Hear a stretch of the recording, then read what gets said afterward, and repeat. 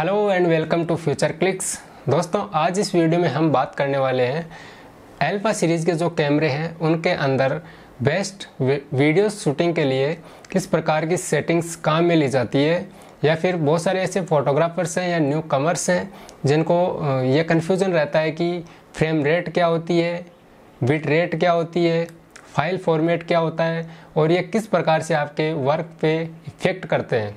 तो ये सारी जानकारी आज मैं इस वीडियो में आपको देने वाला हूँ, क्योंकि जब तक आप इन सारी फीचर्स या सेटिंग्स को प्रॉपर नहीं जान पाएँगे तो आप अच्छी क्वालिटी का वीडियो रिकॉर्ड नहीं कर सकते।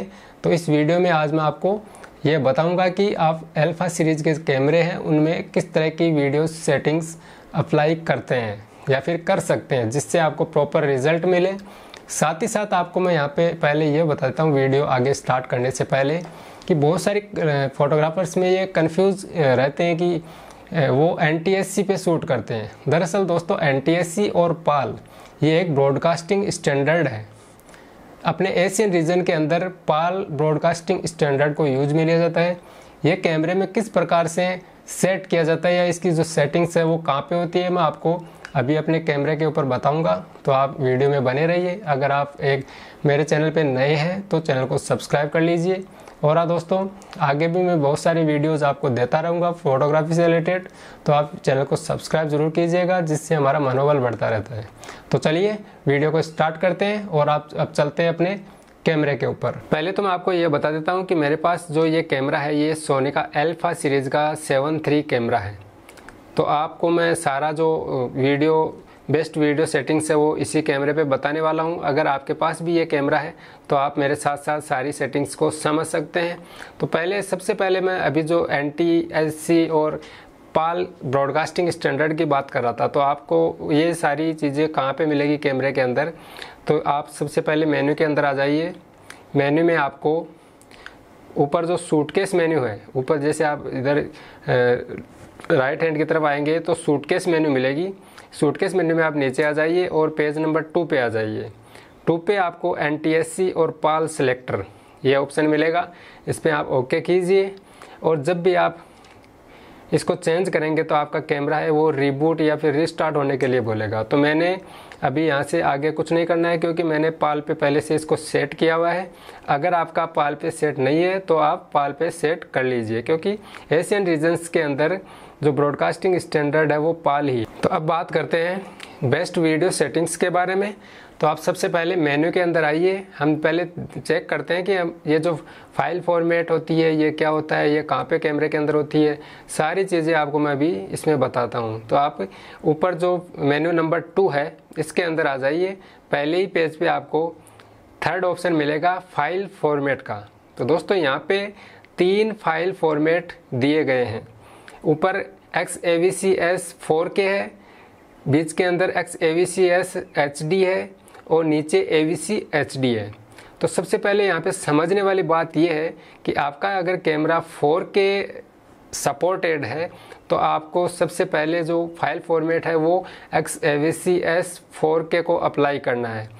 इसको अप्लाई करने के बाद आपका जो कैमरा है वो 4K वीडियो शूट करेगा। इसके जस्ट नीचे X A V C S H D ये फ़ाइल फॉर्मेट आपको मिलेगा। अगर आपको फुल एच के अंदर रिकॉर्डिंग करनी है तो आपको ये फ़ाइल फॉर्मेट अप्लाई करना है और नीचे A V C H D है। ये फ़ाइल फॉर्मेट भी एच डी को ही सपोर्ट करने वाला है। लेकिन ये फॉर्मेट है वो काफ़ी पुराना है और सोनी का जो पुराने कैमरे हैं, चाहे वो डीएसएलआर हो या फिर आपके हैंडी कैमरे हो या फिर हैंड हेल्ड जो भी कैमरे हैं, उन सारे कैमरोज में आपको ये फ़ाइल फॉर्मेट मिल जाता है, क्योंकि बहुत सारे ऐसे टीवीज़ या फिर ऐसे मॉनिटर्स हैं जो इस फ़ाइल फॉर्मेट को ही सपोर्ट करते हैं। तो ये तीन तरह के फॉर्मेट है। अभी यहाँ पे जो X A V C S H D है, ये फॉर्मेट सोनी का, खुद का फ़ाइल फॉर्मेट डिज़ाइन किया गया है। आपको हर कैमरे के अंदर ये फ़ाइल फॉर्मेट मिल जाता है। बाकी कैमरोज में क्या होता है कि उनका खुद का फ़ाइल फॉर्मेट सिस्टम नहीं होता है, वो किसी दूसरे कंपनी से फ़ाइल फॉर्मेट परचेज करते हैं और अपने कैमरे के अंदर इंस्टॉल करवाते हैं। तो अग, मैं भी लगभग अपनी वीडियो शूटिंग में ये X A V C S H D जो कि full H D file format है इसको यूज़ में लेता हूँ। तो यहाँ पे तीनों चीज़ें आपको कंफर्म हो गई। अगर आपको फोर के शूट करना है तो आप ऊपर वाले X A V C S four K को सिलेक्ट कीजिए। और अगर आप फुल एच डी में वर्क करना चाहते हैं तो आप second option X A V C S H D को यूज़ में लेंगे। तो ये तीन तरह के फ़ाइल फॉर्मेट आपको इस अल्फ़ा श्रेणी के कैमरे में मिल जाते हैं। अब चलते हैं रिकॉर्डिंग सेटिंग का जो फीचर है इसके अंदर। यहाँ पे आपको काफ़ी सारी चीज़ें पहले से मिलेगी।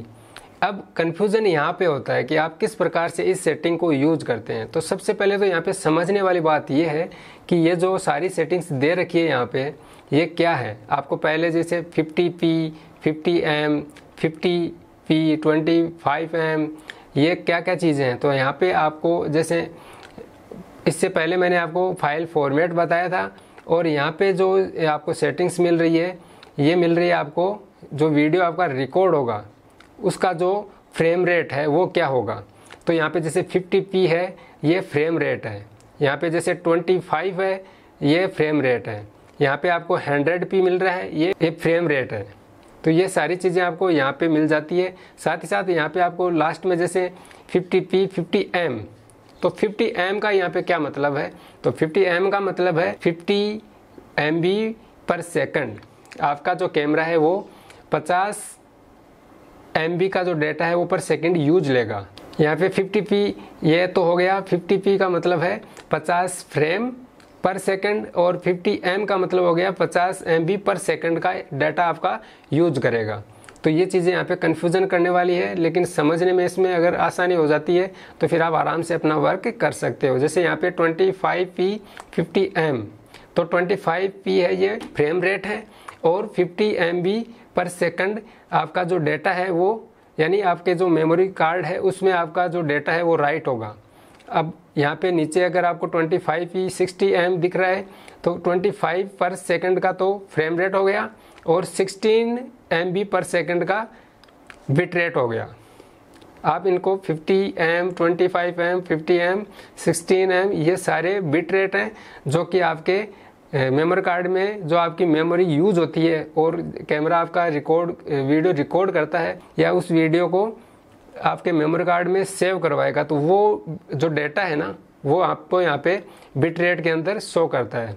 जैसे यहाँ पे 100 पी 100 एम, अगर हम स्लो मोशन शूट करें तो इस सेटिंग को अप्लाई करते हैं, क्योंकि इसमें क्या होता है कि बहुत जैसे 100 फ्रेम पर सेकंड में आपको कैमरा कैप्चर करके देगा पिक्चर्स, और वो भी 100 एम पर सेकंड के डेटा के साथ। यानी बहुत सारी उसमें डिटेल आपको मिलेगी। तो ये सारी चीज़ें आपको यहाँ पे करनी है। तो बेस्ट अगर हम सेटिंग्स की बात करें तो ये करता है आपके जो, आपका जो वर्क है, अगर वो बहुत ही हाई प्रोफेशनल वर्क है तो आप लगभग 50p 50m का जो फ़ाइल फॉर्मेट है, उस पर आप वर्क कीजिए।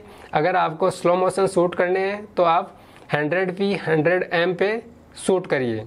हालाँकि यहाँ पे जो स्लो मोशन की अगर हम बात करें तो आपका जो कैमरा है, उसमें भी आजकल स्लो मोशन का जो फीचर है, वो ऐड कर दिया गया कि आप इनबिल्ट कैमरे से ही स्लो मोशन को पिक्चराइज कर सकते हैं। तो ये सारी यहाँ पे आपको फ्रेम रेट और बिट रेट आपको मिल जाती है। अब ये डिपेंड करता है आपके फ़ाइल फॉर्मेट पे भी। जैसे अगर मैं बात करूँ, जैसे ये फ़ाइल फॉर्मेट है, मैं 4K को सिलेक्ट करता हूँ और अब रिकॉर्डिंग सेटिंग को करता हूँ तो यहाँ पे आपको दो ही ऑप्शन मिलेंगे। फोर के के अंदर। क्योंकि फोर के के अंदर 25 फ्रेम पर सेकंड के हिसाब से ये पिक्चर को रिकॉर्ड करेगा और 100 एम का जो डेटा है वो आपको आपके मेमोरी कार्ड पे राइट करेगा। सेम वैसे ही आपका 25 60 एम ये दोनों फ़ाइल फॉर्मेट आपको यूज़ करने देगा। अगर मैं बात करूँ जो दूसरा अपना फुल एच का X, A V C, S, T format है। इसमें अपने को रिकॉर्डिंग सेटिंग्स में one two three four five six छः तरीके के फ़ाइल फॉर्मेट मिलेंगे, जिसमें आपको छः तरीके की फ्रेम रेट और बिट रेट के ऑप्शन मिल जाते हैं। इसके अलावा अगर मैं बात करूँ थर्ड नंबर का जो फ़ाइल फॉर्मेट है, उसकी A V C S T की तो इसके अंदर अपने को दो स्टैंडर्ड मिलते हैं 50 आई 24 एम और 50 आई सेवनटीन एम यानी इसमें जो आपका वीडियो रिकॉर्ड होगा, वो बहुत ही कम बिट रेट पे रिकॉर्ड होने वाला है। उसमें आपको बेहतर क्वालिटी तो नहीं मिलेगी, लेकिन अगर कई बार हमारे पास सिचुएशन ऐसी हो जाती है कि जैसे मान लो कैमरा का जो मेमोरी कार्ड है, वो फुल होने वाला है और अपने पास दूसरा कोई कार्ड भी नहीं है तो हम क्या करते हैं, अपनी जो सेटिंग्स होती है रिकॉर्डिंग्स को, उसमें फ़ाइल फॉर्मेट को चेंज कर लेते हैं, जिससे कि अपने को एक्स्ट्रा टाइम मिल जाता है। मैं एग्ज़ाम्पल अगर आपको देना चाहूँ तो जैसे अगर मान लो मैंने फुल एच पे कैमरा को रिकॉर्ड किया है सेट किया है, और अगर अब यहाँ पे जैसे आपको टाइम दिखा रहा है एक घंटा उनतीस मिनट। चलो इस फॉर्मेट में एक घंटा उनतीस मिनट का टाइम दिखा रहा है। अगर मैं यहाँ से फ़ाइल फॉर्मेट चेंज करता हूँ या फिर रिकॉर्डिंग सेटिंग ही चेंज कर लेते हैं, चलो। अभी ये फिफ्टी है। मैं अगर स्लो मोशन शूट करना चाहता हूँ तो 100 पी 100 एम पर शूट करूँगा। तो इस सेटिंग्स को जैसे ही अप्लाई करता हूँ तो आपको क्या टाइम मिलेगा? अभी आप देखते हैं, केवल 45 मिनट। क्यों? इसका इसका जो रीज़न है वो क्या है? रीज़न इसका ये है कि यहाँ पे जो आपका बिट रेट था वो काफ़ी हाई हो गया है। ये हंड्रेड एम हो गया है और उसकी जो पहले वाली सेटिंग थी उसमें 50 मतलब डबल हो गया है। आपका जो डेटा है वो मेमोरी कार्ड में डबल सेव होगा। इससे आपका जो मेमोरी कार्ड का जो टाइम है वो कम हो जाता है। तो इस तरह से आप इस फ़ाइल फॉर्मेट को समझ सकते हैं। और थर्ड, अगर मैं बात कर रहा था, फ़ाइल फॉर्मेट जो थर्ड है A V C S T अगर इसको अप्लाई कर देता हूँ तो फिर क्या अपने को मिलता है? इसमें आपको दो फ्रेम रेट मिलती है। आप किसी को भी, जैसे 24 या फिर 17 कोई सा भी इसमें से यूज़ कर लो एक बार, यहाँ पे अपन देखते हैं। कांट रिकॉर्ड, ओके, चेंज करते हैं। इसमें अपन क्या करते हैं? अब देखते हैं कि क्या अपने को टाइम मिल रहा है। अभी आप देखिए, चार घंटा और सैंतालीस मिनट का टाइम यानी कितना ज़्यादा टाइम अपने को मिल रहा है रिकॉर्ड करने के लिए। लेकिन आपको क्वालिटी उतनी बेहतर नहीं मिलेगी। ये किस सिचुएशन में हम ज़्यादातर करते हैं? अगर अपने पास कैमरा फुल कैमरे का जो कार्ड है वो फुल हो रहा है और अपने पास दूसरा कोई कार्ड नहीं है तो हम काम चलाने के लिए इस सेटिंग्स को कर सकते हैं। अन्यथा हम फुल एच में ही अपने का, अपना जो वर्क है वो करते रहेंगे। तो ये सारी चीज़ें आपको यहाँ पे समझना है। फुल एच में सेव कर दीजिए और इसमें भी जो फ़ाइल फॉर्मेट जो फ्रेम रेट है, वो आप फिफ्टी पी फिफ्टी एम या फिर fifty P twenty five M ये दोनों आप अप्लाई कर सकते हैं। मैं ज़्यादातर अपने वीडियो के अंदर 50 frame per second 50 M per second की जो फ्रेम रेट है, वो उसको यूज़ करता हूँ। इसके बाद में हम बात करते हैं स्लो मोशन की। यहाँ पे एस एंड क्यू सेटिंग्स भी दी गई है। तो दोस्तों, इसमें रिकॉर्डिंग जो सेटिंग है, वो यहाँ पे 100 एम पे होती है फ्रेम रेट मैक्सिमम आप 100 एम यानी 100 फ्रेम पर सेकंड आप वीडियो रिकॉर्ड कर सकते हैं और minimum one frame per second कर सकते हो। अगर आपको वन वन का मतलब यहाँ पे ये कि अगर आप टाइम लेफ्स वीडियो शूट करना चाहते हैं तो आप वन फ्रेम पर सेकंड या फिर टू फ्रेम पर सेकंड जितनी आप लो करोगे फ्रेम रेट को, उतना ही आपका बेहतरीन टाइम लेप्स वीडियो तैयार होगा। और जितनी बिट रेट फ्रेम रेट आप हाई करोगे, उतनी ही पिक्चर आपको पर पर सेकंड फ्रेम ज़्यादा मिलेगी। तो ये सारी चीज़ें आप अपना स्लो मोशन में ट्राई कर सकते हैं। तो दोस्तों, ये थी अपनी नॉर्मल बेसिक सेटिंग जो कि सोनी के अल्फ़ा सीरीज़ के जो कैमरे हैं, उनमें आप यूज़ कर सकते हैं और एक वीडियो शानदार तरीके से रिकॉर्ड कर सकते हैं। तो चलिए दोस्तों, मैं समझता हूँ कि आप अब file format bit rate frame rate ये क्या होती है, ये किस प्रकार से आपके कैमरे के अंदर इफ़ेक्ट करती है, या फिर आपका जो वीडियो रिकॉर्ड होता है, उसमें आपको किस प्रकार से ये इफ़ेक्ट करती है। अगर आपको ये पूरी जानकारी नहीं थी तो मैं आशा करता हूँ कि आपको इस वीडियो से कुछ तो लाभ हुआ होगा। तो वीडियो को पसंद कीजिए, वीडियो को लाइक कीजिए, चैनल को सब्सक्राइब कीजिए। इस तरह के वीडियोज़ आपको मैं काफ़ी आने वाले टाइम में देने वाला हूँ। तो चलिए, मिलते हैं अगले वीडियो में। तब तक के लिए थैंक यू